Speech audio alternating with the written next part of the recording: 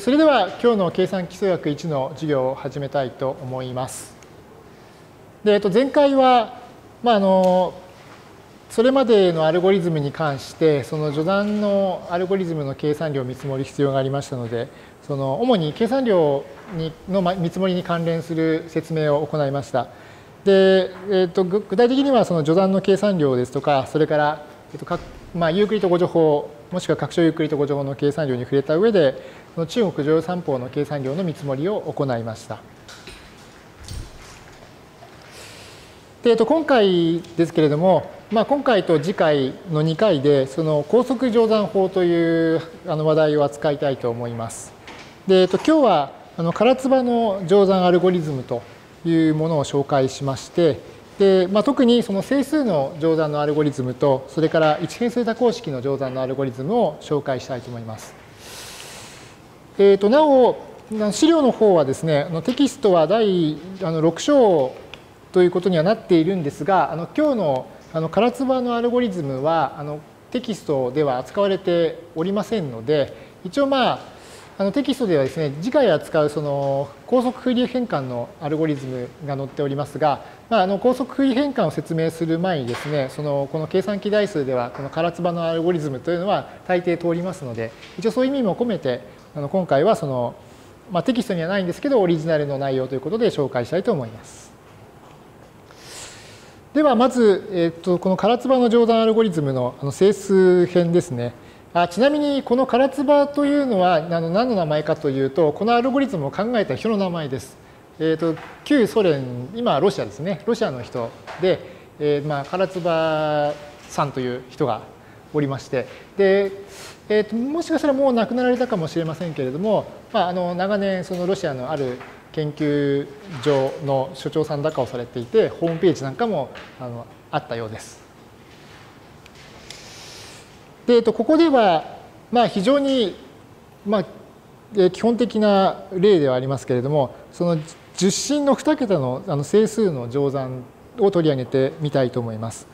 と例えばここに a と b という2つの整数がありましてでそれぞれ例えば a の桁が a1a0 っていう桁で表されているとそれから b というの整数が b1b0 という桁で表されているとしましょうでまあここで言うとその a1 と b1 がそれぞれ10の位でそれから a0 と b0 がそれぞれまあ1の位というわけです。では一応まああの a0a1 a0 と h はまあ0から9の範囲内ということにしましたけれども、まあ、あのせっかく2桁の数ということにしますので、まあ、10の位は0ではないということにして話を進めましょう。でそこで、まあ、通常の方法でですね乗算を行いますと、まあ、これほど行々しく書くまでもないんですが、まあ、我々がその小学校以来習ってきた掛け算のやり方ですね。でそうしますとそのここで展開して見てわかるように1桁の整数の乗算が4回出てくることがわかります。でところがこれちょっとやり方を変えてですねその展開の仕方を少し変えるとあの整数の乗算の回数を1回だけ減らせることができます。でそれはどのようにするかというとあの展開の仕方を少し変えるんですけれども、えー、とまず、えー、と最初の、まあ、10の2乗100の位の A1B1 はここのままですね。それから、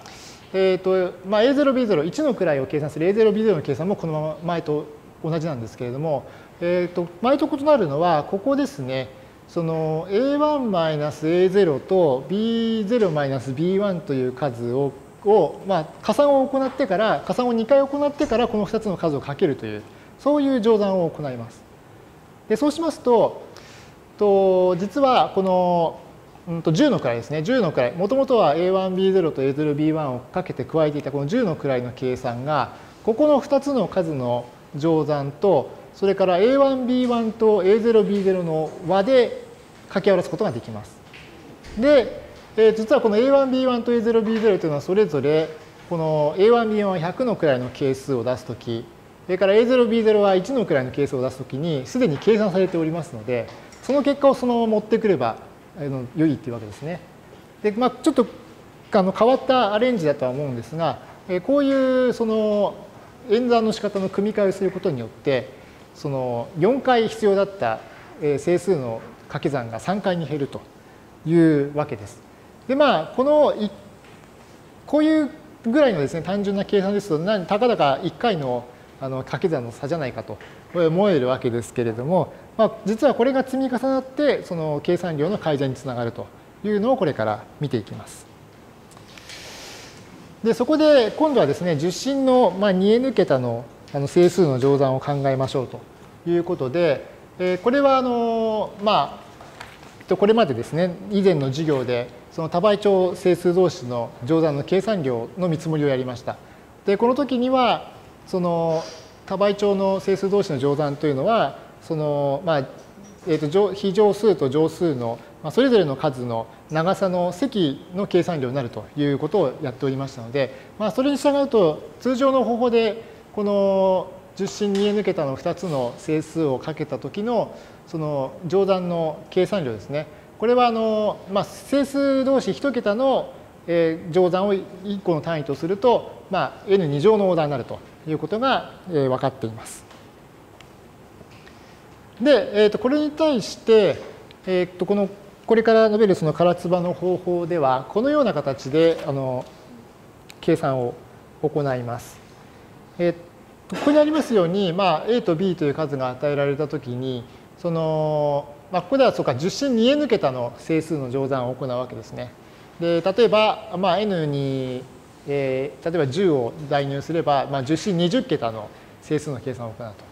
でそれをどのようにして行うかということなんですけどまず最初にこの、まあ、A と B それぞれをその上位の桁と下位の桁に分けます。で、まあ、例えば20桁の同士の整数を乗算する乗算を行うと思ったら、まあ、これをあの A、B それぞれ上位10桁と下位10桁の数にこう分けるわけですね。でそのそれぞれの上位の位と下位の位上位の位を A1 下位の位を A0 というふうに書いておきます。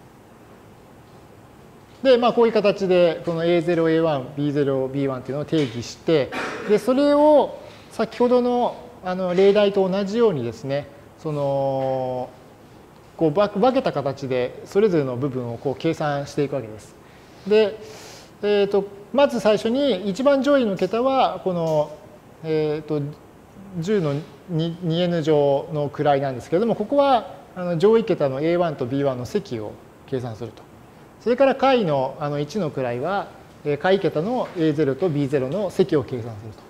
で問題はその真ん中の部分なんですけれどもえ先ほどと同じようにえこの A1-A0 と B1-B0-B1 の積あ差ですねそれ2つの差の積を計算してで、えー、とそれにこうこの A1B1 っていうあらかじめ計算した積と A0B0 というあらかじめ計算した積を加えるという形で計算を行います。でこうすることによってその、まあ、10進 2n 桁の整数の乗算をですねまずあの n 桁の整数の乗算3回分にこう分割するわけです。ここが一つのポイントですね。そのいきなり 2n 桁の数同士の乗算をする代わりに、えー、この2つの a と b っていう数を、まあ、上位10桁上位 n 桁と下位 n 桁に分けてでここではその n 桁の整数の乗算ににまず帰着させます。というのが一つのポイントです。で今度さらにですね、えー、とここでその n 桁の乗算っていうのがまあ3回出てきますからこの3回のその n 桁の整数の乗算を再帰的に分割して行うというのがあの2つ目のポイントです。でこうしていって、まあ、最終的にその、えーとまあ、ある1桁同士の数の乗算まで分分割するとかあるいはある式位置を設けておいて、まあ、何桁もっとよりより小さな桁同士のですね何桁の乗算まで分割していったらそこから直接計算するというような形で計算を行います。でこのようにその今のあの方法ではそのまず 2n 桁の整数の乗算を、まあ、n 桁同士の整数の乗算数回に分けてでそれをさらにこうより小さな桁のあの乗算に分けていくというような形のことをやっておりますけれどもこういったですね一連のアルゴリズムの手法を分割装置というふうに呼びます。英語で言うとディバイダーのコンカーっていうんですけれどもそういう呼び方がついております。